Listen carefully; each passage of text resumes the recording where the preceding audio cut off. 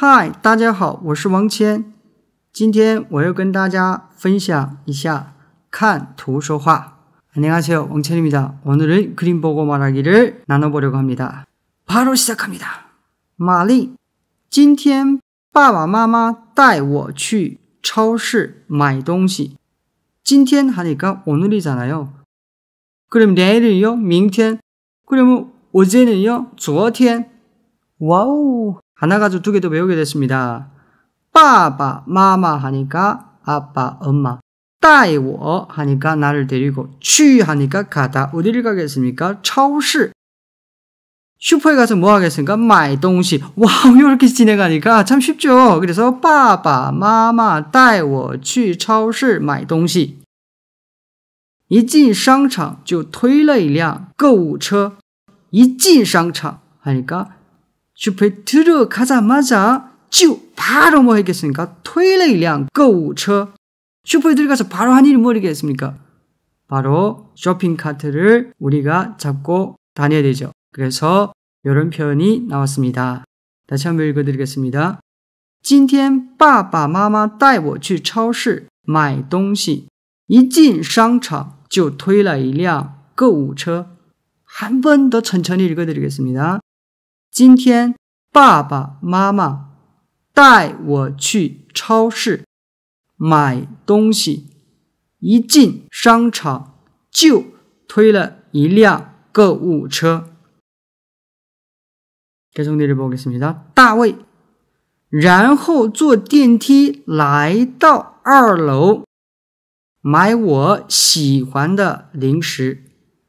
然后는그다음에 당연히 쇼핑 카트를 가지고 다니면서 하니까 랑호가 나오게 되겠죠. 행위로 봐서 우리가 해석이 됩니다. 坐电梯来到二楼.坐 하니까 앉다 어디 앉겠습니까? 엘리베이터. 그래서 어디로 왔겠습니까? 来到.来到 하니까 2층에 왔어요. 또 도착했으니까 2층. 2楼. 2楼 2층입니다. 买 사다. 뭐 사겠습니까? 我喜欢的零食. 자신이 좋아하는 간식을 샀습니다. 누구 좋아하는? 내가 좋아하는. 我喜欢的零食.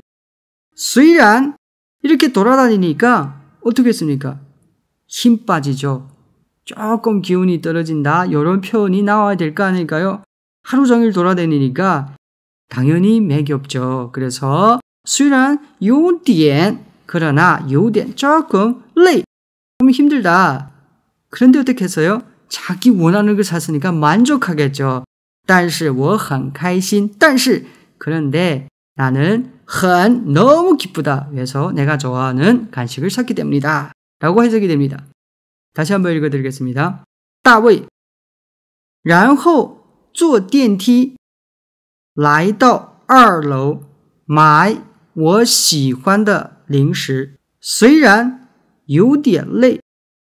但是我很开心。